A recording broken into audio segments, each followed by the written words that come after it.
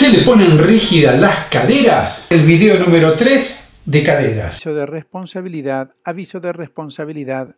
Bienvenidos a Salud TV, donde el movimiento es salud y la salud es vida. Recuerda suscribirse a nuestro canal de YouTube y apriete la campanita. Síganos en el Facebook, síganos en Instagram, síganos en Twitter. Muy bien, continuamos con los movimientos rotatorios de cadera. Vamos a trabajar con una almohada que hasta el final porque va a aprender cómo movilizar las articulaciones de la cadera y de los hombros utilizando las rotaciones. Otra opción, boca arriba. Y este ya lo he mostrado en otro de los videos eh, de ejercicios en la cama, en el cual yo trabajo rotación externa e interna, externa, interna, externa, interna, externa, interna, externa, interna, externa, interna, externa, interna me pongo una almohada en la espalda, yo uso el motor tren, que aquellos que quieran comprarlo, lo tengo también en mi tienda de Amazon y pueden visitarla y ver todos los productos que ahí se ofrecen y también interna y externa, interna y externa, interna y externa, interna y externa, interna y externa. Este cambio de pie, vamos a hacer 5 o 6 veces, esto simplemente para mostrarlo, es muy simple, ¿eh? pero recuerden de sentir bien el movimiento en la zona de la cadera, estiro, yo tengo cortos todavía los isquiotibiales, por lo tanto me cuesta mucho estirar la pierna, externa, interna, externa, interna. Muy bien. Este mismo lo mezclo, lo trabajo con el hombro, interna y externa, interna y externa. Recuerden que el movimiento de hombro no es de mano, es acá también. El de la cadera es acá y el del hombro es acá.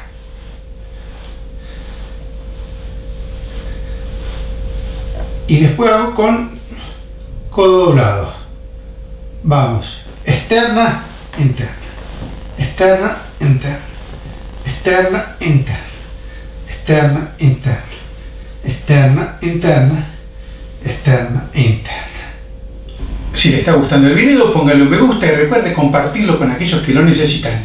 Comente abajo qué opina sobre los ejercicios de rotación. ¿Los hace? Si conoce alguna variación, si tiene alguna pregunta, pónganla en los comentarios de abajo.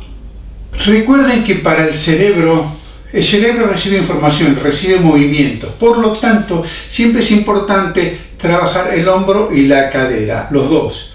Porque el cerebro está recibiendo el patrón de movimiento, de rotación, y lo está incorporando. Y mientras yo trabaje una articulación, va a beneficiar a las otras también.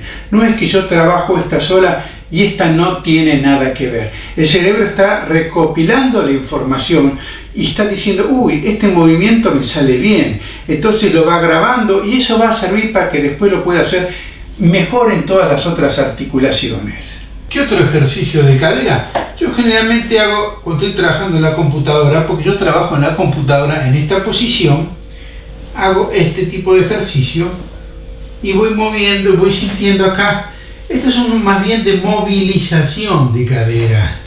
Esto no es de fuerza movilización de cadera. Y en general, de a poquito, voy contracturando las lumbares y voy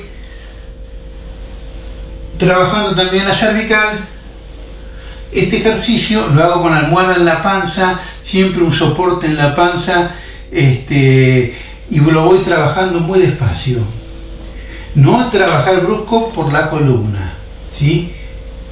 Este ejercicio depende de su condición voy trabajando y yo trabajo en esta posición con la computadora es mi posición preferida porque es en el momento que yo puedo trabajar extensión cuello y cervical